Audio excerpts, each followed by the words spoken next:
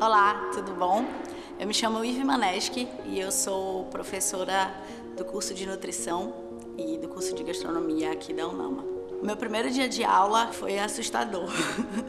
Eu estava muito nervosa e eu queria muito que os alunos não tivessem percebido isso, né? Eles já sabiam quem eu era, já tinham me pesquisado nas redes sociais e no final eu acabei ficando muito tranquila e eu recebi muito, muita energia positiva.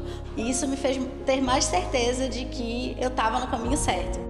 A primeira formatura foi algo incrível, assim, uma sensação, um sentimento que eu nunca vou esquecer, olhar eles lá de cima e ver cada olhinho brilhando. Eras isso daí não tem preço, não tem nada que pague, assim, sabe? E o segundo momento foi quando eu vi uh, alunos meus do curso de nutrição ganharem um prêmio a nível nacional por um trabalho desenvolvido dentro da Feira de Tecnologia de Alimentos. Esse prêmio que se chama Amazônia App e elas ganharam e foram aplaudidas e reconhecidas. A gente sempre fica feliz com a conquista dos nossos alunos.